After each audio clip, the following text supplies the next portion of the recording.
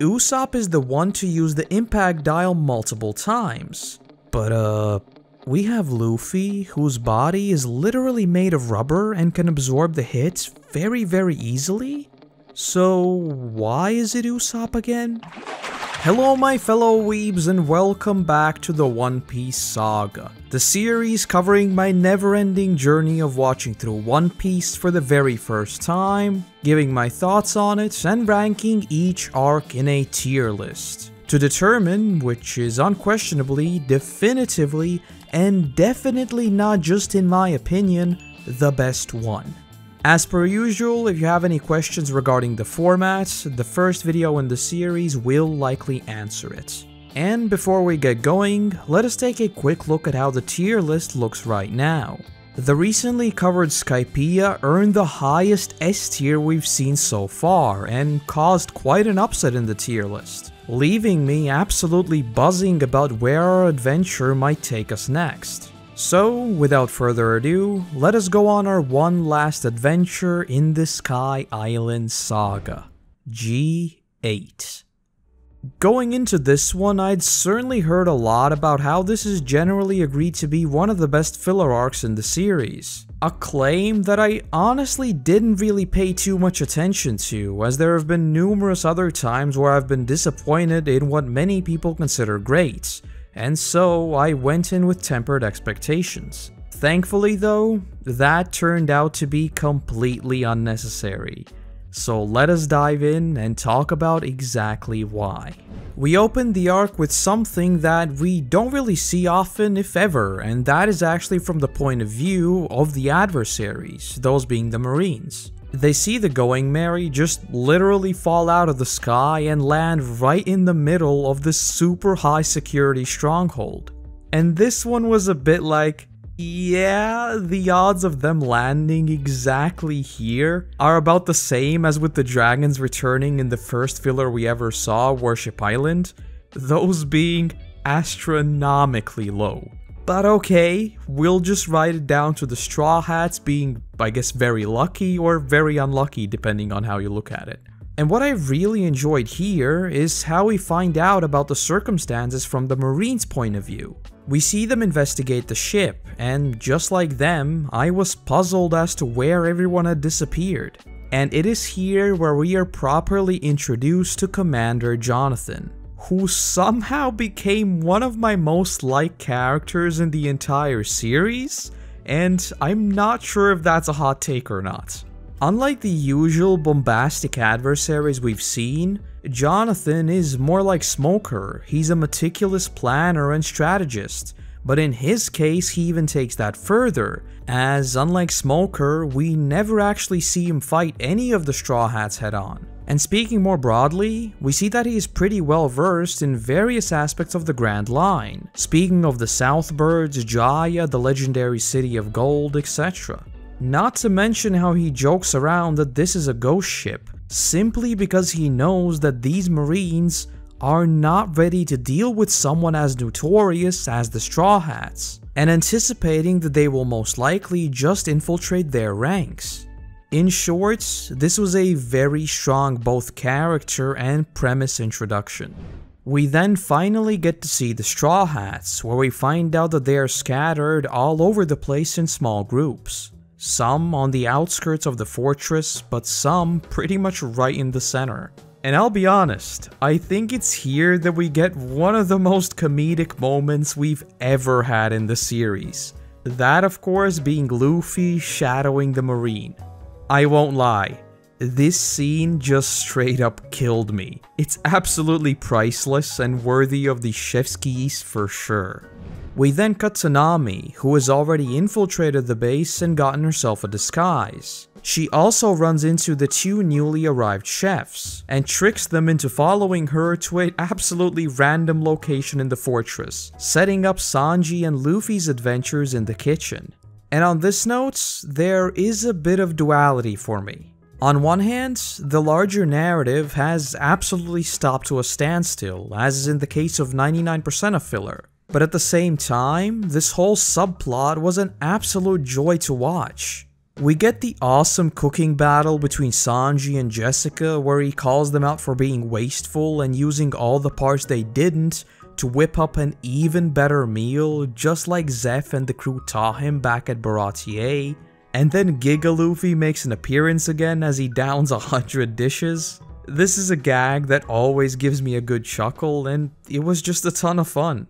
And I suppose in a way, despite the One Piece narrative not really moving forward, there is a discussion to be had here around how Jessica and the Marines approach their cooking after they find out that Sanji is indeed a pirate. Jessica bans the use of his recipes simply because again, he is a pirate, bringing up the question of how do you separate the art from the artist. This is a particularly interesting topic nowadays, once we take a retrospective look at some older material that is admittedly very problematic in many ways. For instance, if you look at H.P. Lovecraft, his work has issues in more ways than one. The most prominent being his racism is just rampant throughout the writing. But at the same time, the quote unquote good parts of his writing have shaped cosmic horror as we know it today. So how should you feel about that? Even the whole genre. Ditto for Rowling. For many, including me, the Harry Potter series was an absolute wonder to experience growing up. But again, she is a very, very problematic writer with, well, I'll just say some opinions. So when the Hogwarts Legacy video game, an RPG that I've wanted for literally most of my life was announced, I felt dubious about being excited for it. Despite it being developed by obviously completely different people, it is still a part of her franchise, and indirectly, I would be supporting a highly problematic person. In One Piece, that isn't really played up to the fullest, as we know that Sanji isn't really a hateful person like the others I've brought up, but I think the same situation here applies, as from the Marines' point of view, he is a pirate, all pirates equal bad, so Sanji equals bad.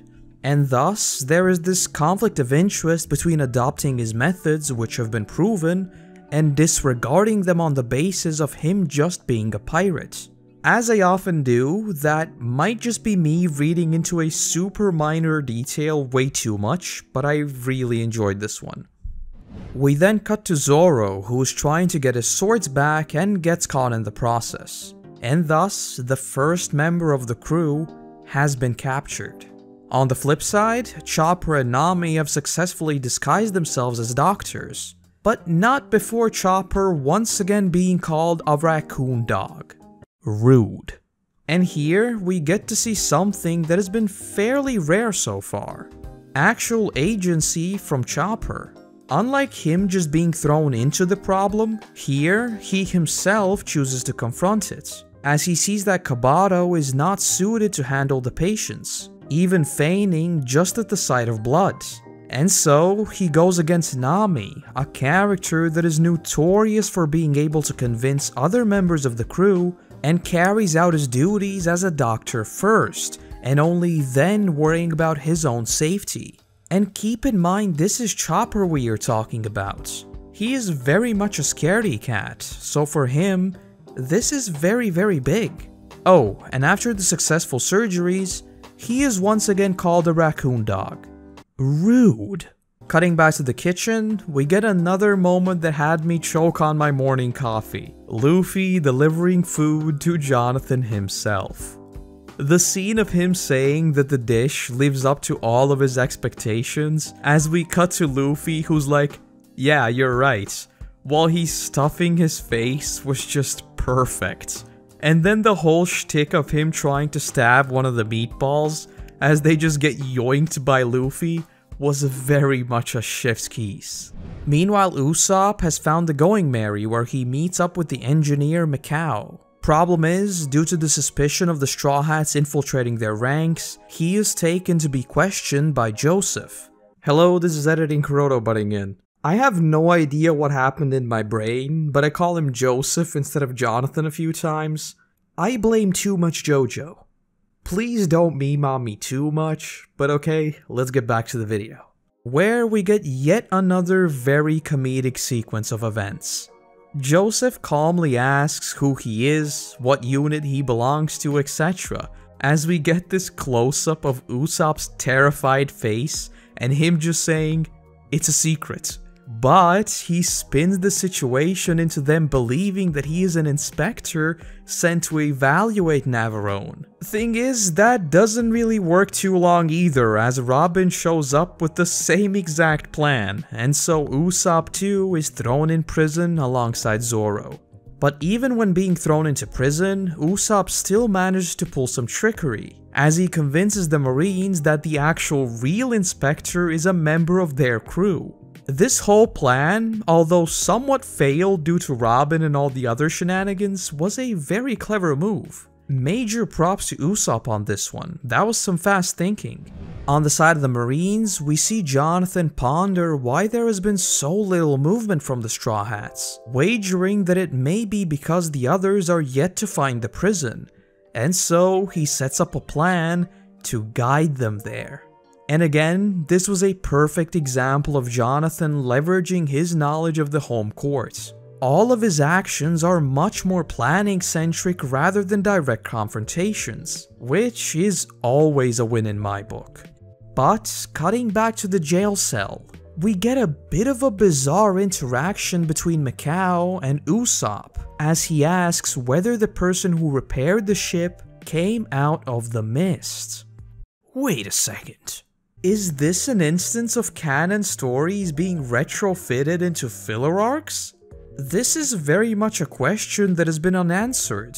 So what's up with Mikao bringing it up here? Very sus to say the least. And what's up with this mist? Please don't tell me it's another rainbow mist. I do not want that ever again in my life. Thank you. A short while later, Sanji and Luffy arrive to get Usopp and Zoro out of the cell. And this is where I began to notice a bit of a weird trend, and that is who gets to use the impact dials.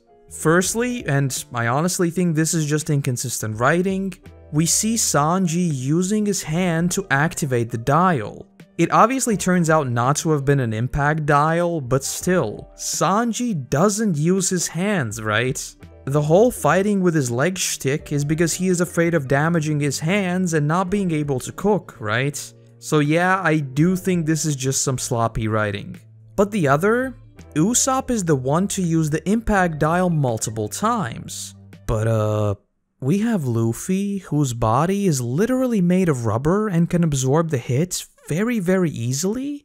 So why is it Usopp again? Usopp stepping up and using them is certainly a big deal in terms of his character, but from a more rational standpoint, I don't see why they don't leverage Luffy's near immunity to that sort of blunt slash impact damage. But, a little more broadly speaking, I think if this is the biggest problem I have with this arc, that says a lot about its quality. With the Straw Hats now out of the jail cell, it's time for Nami and Chopper to slowly think about regrouping with them as well. And we get the brilliant moment of Chopper just straight up telling her, we are the pirates. But despite the initial shock, she does feel indebted to Chopper and tells them that she'll show them the way to the docks. Thing is, everything is still going according to Jonathan's plan as almost every member of the Straw Hats runs straight into a massive ambush. And it's here where we get another absolutely awesome moment as Dr. Kabato tricks the Marines into thinking that they've been taken hostage. And we have this super tense walk to the ship where both parties are actively trying to outplay each other with one last move. Again, this is why I enjoyed seeing Jonathan so much. Every moment he was involved in was always more of a calm and calculated puzzle rather than some bombastic action. A chef's kiss indeed. And despite the plan going somewhat sideways, the Straw Hats do manage to escape aboard the Going Merry, which is where I honestly thought that the arc would end.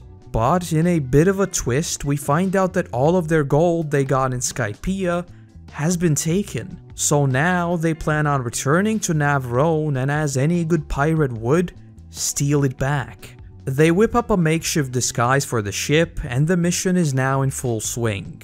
Luffy, Zoro, Robin, and Usopp are Team Gold Recovery, while Nami and Sanji will go to recover the Skywaver, leaving poor old Chopper alone on the ship again.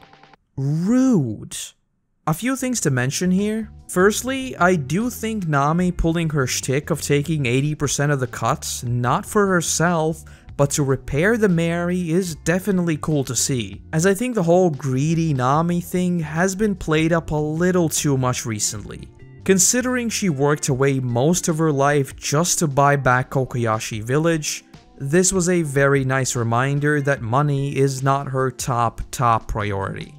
And secondly, we do get a bit of a jarring scene, which it wasn't bad, but it definitely felt a little out of place. We basically see the Straw Hats reminisce about all the adventures they've been on with the ship, which honestly just felt like stuff to fill up the runtime without new animation having to be done. This sort of nostalgic look back is certainly not a bad thing, but I think it would have felt much much better at the very end of the arc instead of here. But that might just be a me thing, it felt a little weird. And lastly, we get another very comedic scene as they say the operation commences at midnight, only for Chopper to ask, but uh, why don't we go right now? And Luffy to answer, cause the mood will be better at night. This sort of mini fourth wall break was just on point and gave me a very good laugh. On the side of the Marines, we see that the real Inspector actually has ulterior motives for being here. His intentions are to get Navarone shut down, so we see him put together a plan to catch the Straw Hats himself. Only problem is, he is absolutely incompetent and much of his crew is very injured. Jonathan, on the other hand, is hesitant about mobilizing the new recruits because he wants to keep them safe. This duality of being a boss or a leader worked really well here and just made Jonathan even more likable. As the Straw Hats arrive at the vault, however, we see that everything has once again gone according to Jonathan's plan. And the funny and kinda terrifying thing here is that the Straw Hats would have either never gotten away, or at least had a very difficult time doing so if it wasn't for the Inspector shooting his own men. So, under the cover of his mess up, the Straw Hats managed to return to their ship. But their gold is of course still missing, so Nami teams up with Luffy and they fly straight through Jonathan's window on the Waver, where Luffy proceeds to calmly take the gold and apologizes for knocking down the door. This arc is very good in terms of these comedy bits, this gave me a very good laugh too. But now, with the gold retrieved, the Straw Hats are on their way out. When we cut to Jonathan, however, we find out that things are actually a lot more complicated than they may seem, as he anticipates that they won't be able to escape due to the fangs of Navarone's waters. The Going Merry crashes on land and the Straw Hats are basically sitting ducks. And this shot of Luffy standing in front of Navarone, wow, an exquisite chef's kiss. But realizing their situation, the Straw Hats now start to discuss how they're going to get out. Figuring the use of dials and the octopus they got here with might be enough. And yes, again, we get a brilliant comedic moment, almost like that shot from Home Alone where they're trying to figure out where Kevin is. In the I have, he has it, he said he has it, he has it, so he has it scene. This gave me a very, very good laugh again. But the absolutely genius thing here is despite them being completely cornered, Jonathan still does not rule out the possibility that they may escape just like they arrived, by flight. And once again, the Straw Hats likely wouldn't have escaped if it wasn't for the Inspector messing up one last time, as instead of hitting the Going Merry, he hits the dozens of cannons all aimed at the Straw Hats. And as they set off, we get another brilliant shot as the sun rises once again and another adventure is behind us. In one final scene back at Navarone, we hear that Jonathan's goal was never really to catch the Straw Hats. Instead, it was to unite everyone under the same banner, And what is the best way of doing so if not a shared adversary? Yeah, that was a little bit cheesy, but I really liked it. Jonathan is a top tier lad, and Jessica knocking out the inspector for just constantly being annoying was just the cherry on top. And just before we set off on our next adventure, I want to talk a little more broadly about one thing that I think worked extremely well in this one. Continuity is very, very strong here. Usually with filler arcs, they can feel quite disjointed from the main narrative. That is of course by design, they're not supposed to interfere with the main story. But there is a fine line between it being a fun side adventure and just feeling crowbarred in with absolutely no links to the original story. In the case of G8, we see that plot devices like the dials and the waiver both of which we learned are quite important and powerful in Skypiea, are being utilized quite often. They aren't just left behind because that already happened and we don't care about them now. And one last thing that I've yet to bring up this video and I probably should have, there has been a lot of talk about getting a ship right. So I guess the next Straw Hat is being set up, right? Though at the same time, Luffy has been talking about getting a musician since Arlong Park, so who knows how long we'll have to wait for that. Either way, I am incredibly excited to see where our adventures take us next, and the characters we'll get to meet. And that's G8. Certainly a surprising end to the Sky Island saga, and even though this is not a canon tale, it really dragged me into the action. Everything from the pacing to the character subplots worked extremely well here, and for me, rivaled even many of the source material adaptations. And so, this may well get me blasted, but this is a very very solid B tier arc for me, ranking in just above Whiskey Peak. I think what sets this one apart the most for me personally is that there are only a few instances where you get that feeling that, yeah, this is blatant filler, and the rest was just an absolute joy. But with that, yet another saga is behind us. Next stop, Water 7.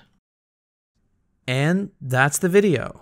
Originally, this one was intended to cover the next arc as well, but I am dealing with some pretty serious problems IRL, and I am a little behind on most things right now, so I thought I'd still put out an episode for you, even if it's not the usual chonker. And, as usual, massive thank you to our current patrons who allow me to produce even more content for you all. Seriously, thank you, thank you. And if you wish to join the highly coveted Mystery Shack Insiders Club, you can do so for as little as $1 per month and get access to all of the benefits.